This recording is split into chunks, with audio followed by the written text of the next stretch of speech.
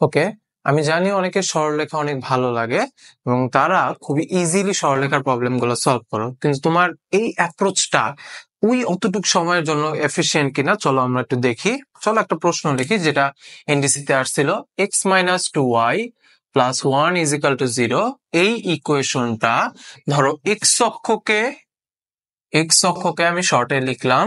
এ বিন্দুতে এবং ওয়াই অক্ষকে ধরো বি বিন্দুতে ছেদ করে তাহলে এ বি স্কোয়ার সমান সমান ওয়াট তো তোমাদের একটা জিনিস বলি, আশা করি তোমরা বিন্দু স্থাপন করতে পারো।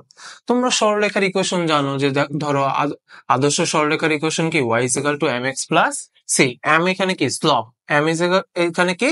স্লব এম সমান কি? টেন থেটা যেটা সমান কি? Del Y by del X আবার হয়। মানে Y two minus Y one by X two minus X one you know that R C কি? এখানে ওয়াই অক্ষের ছেদক মানে ওয়াই অক্ষের কোন বিন্দুতে ছেদ করছে তাই না? আবার তোমরা সরলরেখার কিছু ইকুয়েশন জানো a x plus b y plus c সমান জিরো হ্যাঁ এটাও লেখা যেতে পারে।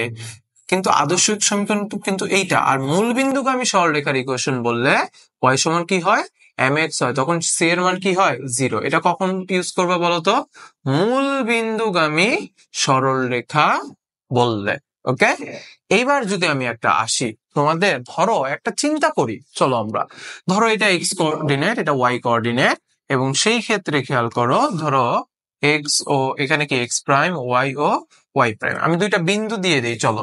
একটা বিন্দু হলো এ কমা জিরো আরেকটা বিন্দু হলো জিরো কমা বি এই রেখাটা তাহলে কীরকম হবে? তাহলে চিন্তা করে দেখো এ কমা জিরো তাহলে এ কমা জিরো এটা কি এক্স অক্ষের উপর হবে?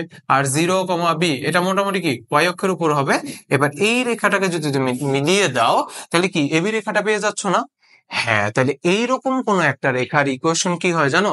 X by a plus y by b সমান ওয়ান এটাও কিন্তু সরলরেখার ইকুয়েশন তো চলো আগে এই অঙ্কটাকে একটু শর্টে করি, তারপর তোমরা যেভাবে গতানুগতিক ভাবে শিখছো, সেভাবে আবার নিয়ে আসি। তাহলে দেখো x minus two y is equal to one তাহলে x minus two y is equal to কত? মাইনাস ওয়ান হয়ে যাবে। এবং মনে রাখবা, এই ফরম্যাটের একটা জিনিস আছে, এই জায়গায় সবসময় ওয়ানই হবে, এখানে এক্সের সহগ ওয়ানই হবে ওয়াই এর সহগ ওয়ানই হবে। মাইনাস ওয়ানও কিন্তু হতে পারবে না। তাহলে এখানে কি মাইনাস ওয়ান আছে? তাহলে মাইনাস ওয়ান দ্বারা যদি ভাগ করি, তাহলে কি আসে বলেন তো? এখানে মাইনাস টু ওয়াই এখানেও কি মাইনাস ওয়ান এখানেও কি minus one by minus one actually এখানে আমি কি করছি জানো একটা লাইন স্কিপ করছিলাম। ধরো মাইনাস ওয়ান দ্বারা ভাগ করলাম। তাহলে কি, এই যে দাদা সম্পত্তি দুই চাচার মধ্যে ডিস্ট্রিবিউট করে দিলাম। তাহলে এটাও কি মাইনাস ওয়ান এটাও কি মাইনাস ওয়ান তাহলে দেখো এখানে x by minus one plus এখানে মাইনাস মাইনাস তো কাটা, তাহলে এখানে টু ওয়াই হচ্ছে, নিচে ওয়ান হচ্ছে। একটু আপাতত আমাদের বুঝার জন্য ওয়ানটা লিখি, চলো। আর এদিকে তো ওয়ানে আসতেছে। তাহলে সেই ক্ষেত্রে খেয়াল করে দেখো এক্স বাই ধরো, এখানে কত? মাইনাস ওয়ান আর এইখানে দেখো টু কি থাকা যাবে? না। এখানে কি বলছে? শুধু ওয়ান থাকবে। তাহলে এই টুটা নিচে চলে আসলে কি হচ্ছে? হাফ হয়ে যাচ্ছে না বলো? হাফ হয়ে যাচ্ছে। তাহলে সমান সমান কত? ওয়ান তাইলে দেখো, এই লেখচিত্রটা এক্স অক্ষকে যেই বিন্দুতে ছেদ করে, সেই বিন্দুর স্থানাঙ্ক হবে হলো গিয়ে মাইনাস ওয়ান কমা জিরো এবং ওয়াই অক্ষকে যেই বিন্দুতে ছেদ করে, সেই বিন্দুর স্থানাঙ্ক হবে কত? জিরো কমা হাফ তাহলে দেখো, এবার তো তুমি কি এবির মান বের করতে পারবে? এবি স্কোয়ার সমান সমান কত? দেখো এবি সমান root over x two minus x one whole square plus y two minus y one whole square শিখছো তো মুখস্থগত বিদ্যা কিন্তু করবা না। দেখছ এখানে কি দিয়ে রাখছি? স্কোয়ার দিয়ে রাখছি। তাহলে কি? এখানে যদি মুখস্থগত ভাবে বসাইতে, তাহলে একটা মারা খাইতাম। তাহলে দেখো এখানে কি? X two minus x one whole square plus y two minus y one whole square তাহলে সেই ক্ষেত্রে দেখো, আমি যদি মানটা বসাই, দেখো এক্স টু মান কত? জিরো আর এইদিকে কত? মাইনাস মাইনাসে প্লাস তাহলে কত? ওয়ান স্কোয়ার প্লাস এখানে দেখো ওয়াই টু ওয়াই টুর মান কত? হাফ এটার মান কত? জিরো তাহলে এটা কত? হাফ স্কোয়ার তাহলে ওয়ান প্লাস হাফ রে কত? ইয়া করলে কত হয়? ওয়ান বাই ফোর হয়। তাহলে খেয়াল করে দেখো এখানে ফোর তাহলে ফোর প্লাস ওয়ান তাহলে কত? Five by that's the answer দেখো, আমি কি করলাম? আমি আবার একটু রিক্যাপ করে দিই। আমি জাস্ট এই জিনিসটাকে x by a plus y by b is equal to one ফর্মেটে নিয়ে আসা।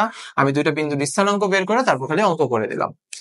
এইবার আমি বলি, তোমরা এতদিন এই অঙ্কটাকে যেভাবে করেছ, সেটা বলি।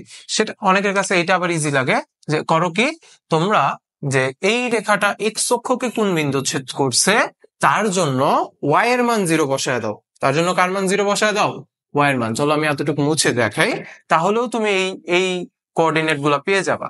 দেখো ওয়াই এর মান যদি আমি জিরো বসাই, তাহলে দেখো আমার এক্সের মান কত আসতেছে?